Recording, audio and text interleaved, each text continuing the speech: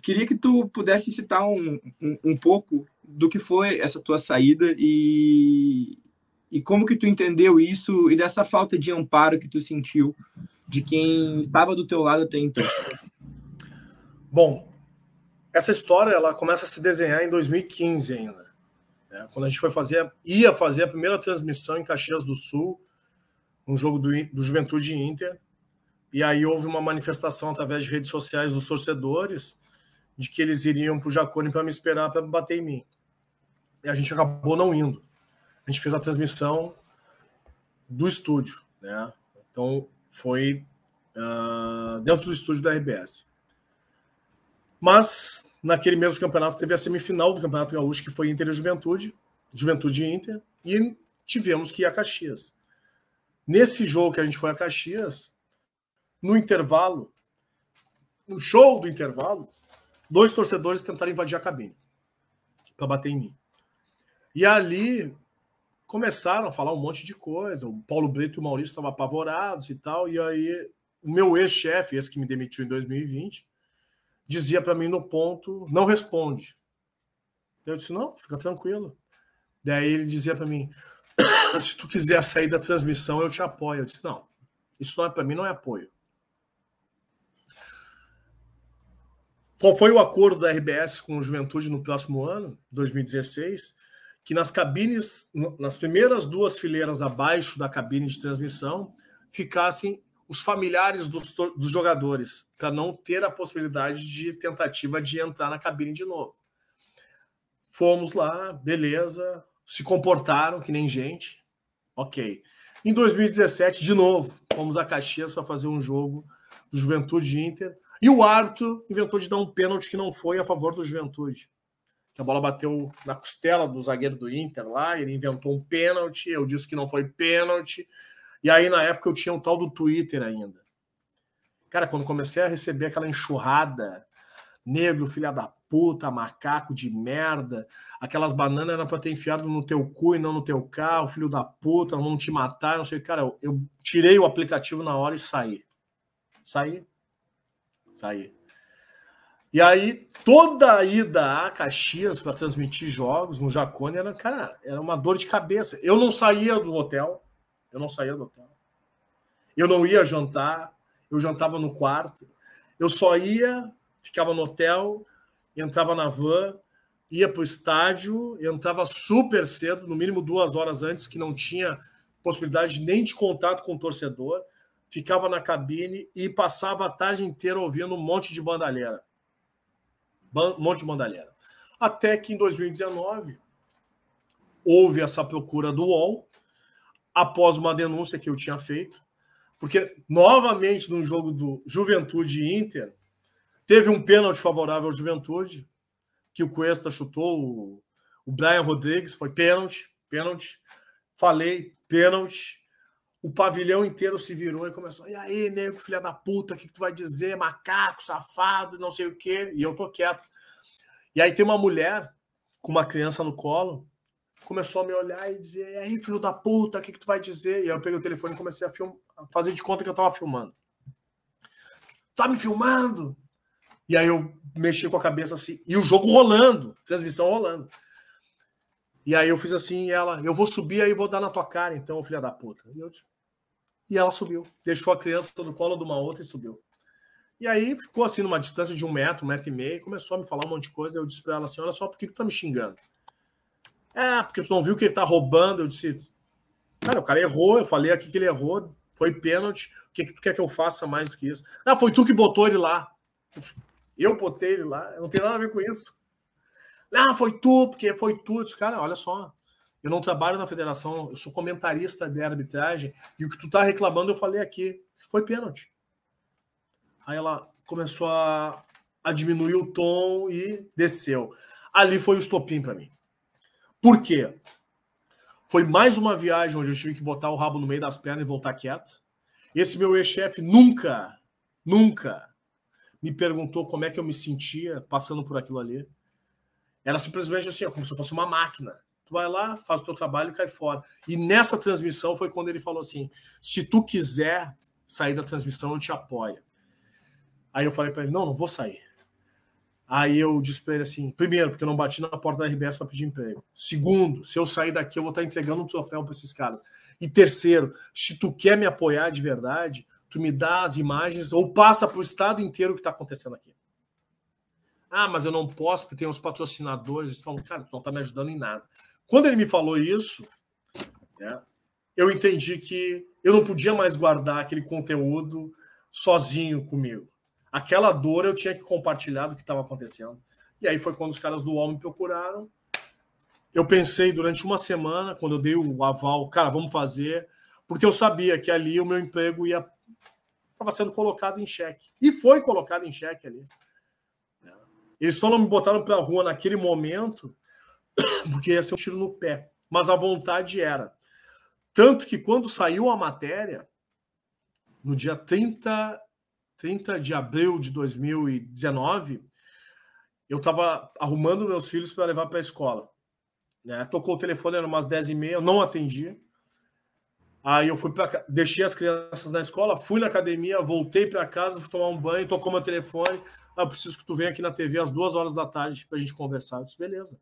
Peguei minha carteira de trabalho, botei no bolso e subi para a TV. Aí eu cheguei lá, ele me perguntou, né? Ah, como é que tu tá te sentindo? Eu disse, cara, tô leve. Ele disse, é, por que tu não me falou sobre essa matéria? Quando é que tu ia me dizer sobre essa matéria? Eu disse, mas o que te interessa sobre essa matéria? Ah, tá dizendo que a gente não é parceiro, então?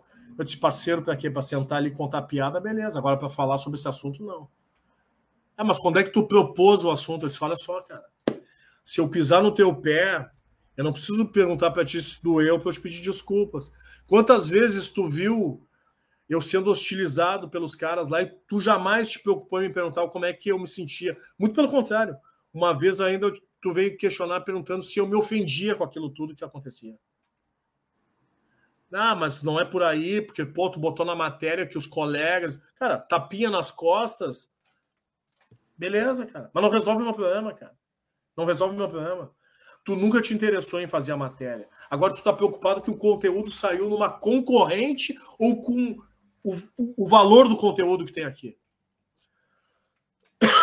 Resumindo, ali eu sabia que eu estava demitido. Só que eles não iam me demitir naquele momento. Então, eu trabalhei mais aquele ano ainda de 2019, fui perdendo cada vez mais espaço, até que chegou numa Copa do Brasil, na semifinal do jogo do Atlético Paranaense e Grêmio, jogo da volta, que o Atlético ganhou. E no início do jogo teve um, um lance polêmico de uma bola na mão, mão na bola. E para mim foi bola na mão, uh, mão na bo uh, bola na mão. A bola bateu de maneira acidental do braço do cara do Atlético Paranaense. Tanto é que o árbitro também não deu pênalti. Só que embaixo na rádio, na, na, na Gaúcha, o Diori tinha dado como pênalti. E aí no outro dia tinha que participar do Globo Esporte. Para minha surpresa, quando eu chego na redação, tá o Diori junto. E aí ele diz: Ah, vocês dois vão entrar no estúdio. Um vai falar sobre o porquê que foi pênalti, o outro porquê que não foi. E eu disse: Só um pouquinho, cara. Como assim? Quando é que tu me deu espaço para ir na rádio para contestar alguma decisão do Diori?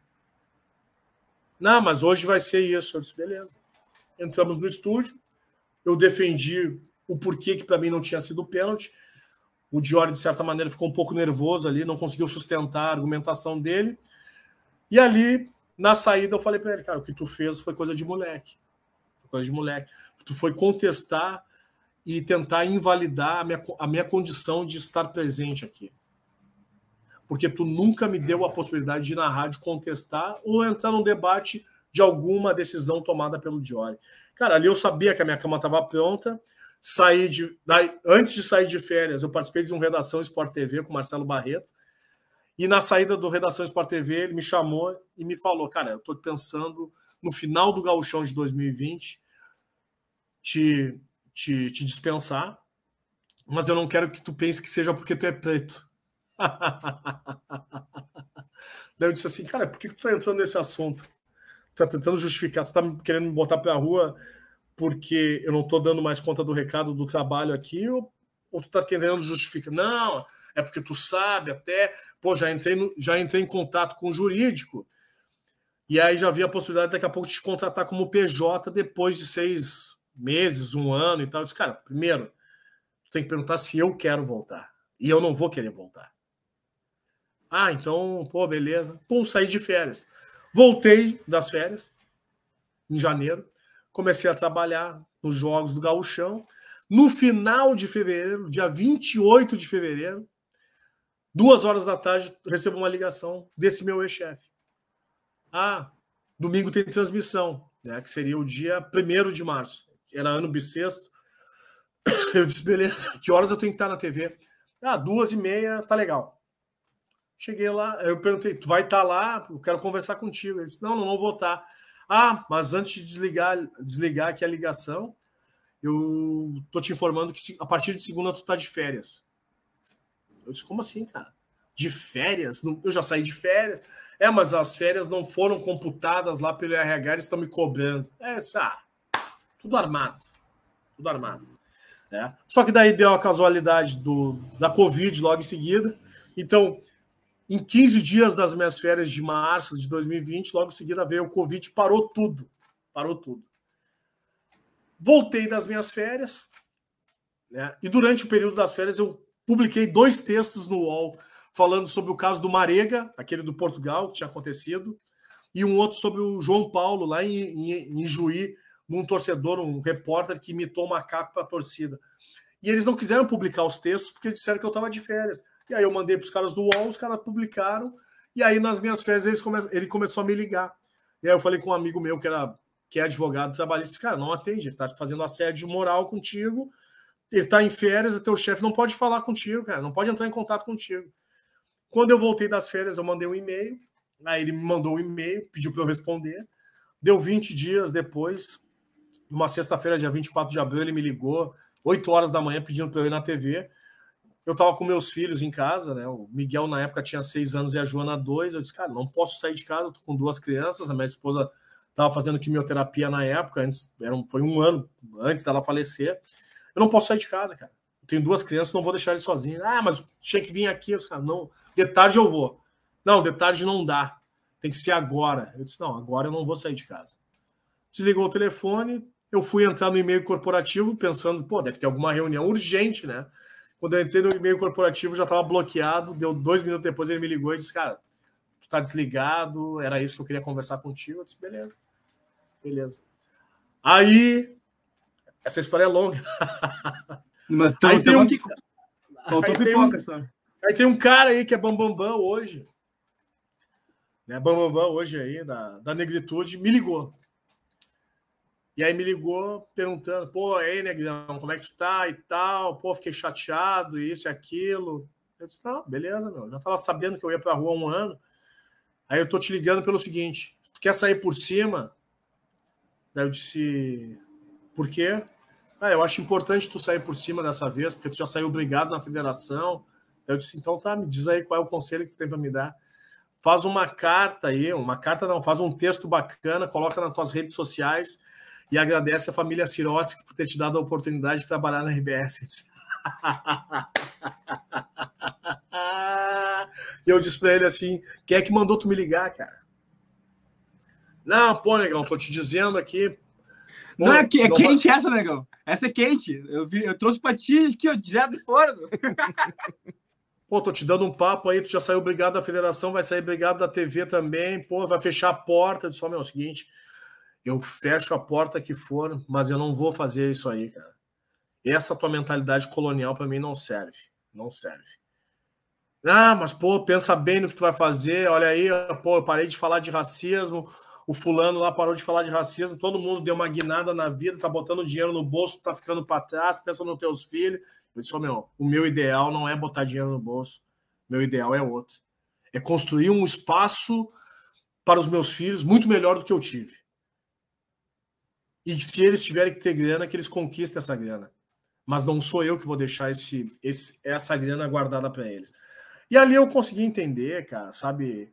Que era um ambiente que que, por ter um posicionamento forte como eu tinha, eu não, não já estava já, já causando, sabe, uma animosidade total dentro daquele espaço. Hoje, a imprensa gaúcha, a imprensa gaúcha esportiva, né, dos grandes veículos, só tem um repórter negro trabalhando, que é o César Fabres. Cara, isso, é uma, isso chega a ser um deboche, cara. Chega a ser um deboche.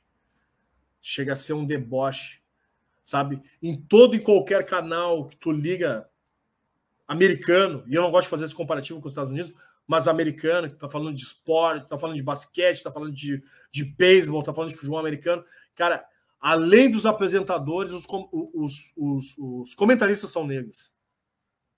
E aqui no Brasil é sempre o mesmo perfil. Né? Até os próprios jogadores, ex-jogadores que são comentaristas hoje, o único que quebra o perfil é o grafite.